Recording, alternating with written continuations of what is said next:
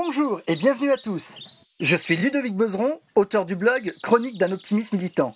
C'est moi qui vais vous accompagner durant les 20 prochaines secondes pour vous offrir une capsule audio particulièrement motivante. Êtes-vous prêts? Profitez pleinement de chaque instant. Le présent est éphémère. Il fige inexorablement notre passé et construit notre avenir. Il est indispensable de profiter de chaque seconde.